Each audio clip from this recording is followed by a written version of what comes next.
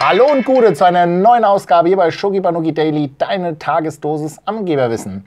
Heute, einen Tag vor Heiligabend, am 23. Dezember, mit mir, dem Christian und dem Mastermind of Shogi Banugi, dem Marc. Hallo zusammen.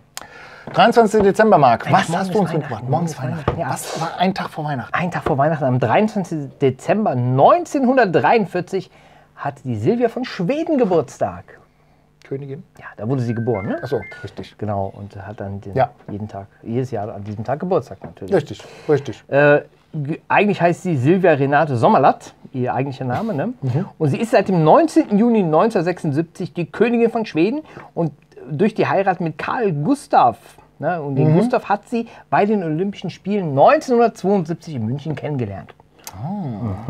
Sport verbindet. Jawohl, sie wurde in Heidelberg geboren übrigens. Ah, okay. Ja, Silvia von Schweden. Silvia von Schweden.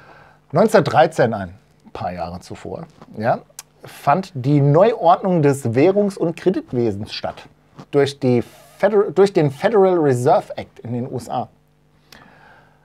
Ja, Ach ja. machen wir so? Also das war interessant. 1913, Kohle, Kredite, fertig, Haken dran, läuft. ja, fertig. Na? Haken dran läuft. Ne? Haken dran, läuft. Kommen wir mal zu was total anderem. Ja. Zum Fakt des Tages.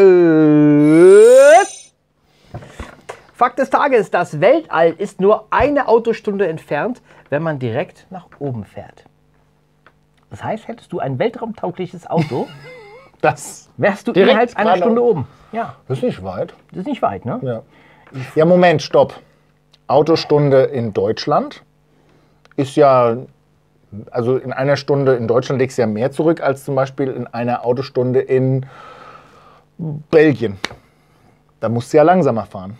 Da musst du langsamer fahren. Ja. Allerdings reden wir dann noch über die Horizontale. Wenn du ins Weltall willst, geht es ja um die Vertikale. Und da gibt Ja. es ja keine Geschwindigkeitsbegrenzung. Von Also- daher kannst du da ja eigentlich mit der gleichen Geschwindigkeit fahren wie in Deutschland, wenn du in Belgien bist. Ja, stimmt, ja. ja. Ja. Also eine Autostunde ins Eine Weltall. Autostunde entfernt, das ist, das, ist nicht, das ist nicht viel. Nee, das geht rucki zucki. Das geht ruckzuck. Brauchst wahrscheinlich keine Vignette oder sonst irgendwas für. Nee, ist auch nicht hier dieses, äh, ne, was wir da haben, dass sie scannt und so, ne, die LKWs. Ja, Ne, so ja. brauchst du alles nicht. Einfach Stunde hoch, bist du da. Kann man mal machen. Ja, nehmen wir so mit. Finde ich gut. Ich auch. Marc. Ja, Ne? Christian, ne? War ja Das war's. kurz und schmerzlos ne? für Genau. heute. 23. Frohe Weihnachten. Und für morgen, genau. Frohe Weihnachten. Macht's gut. Gut. Tschö. Tschüss.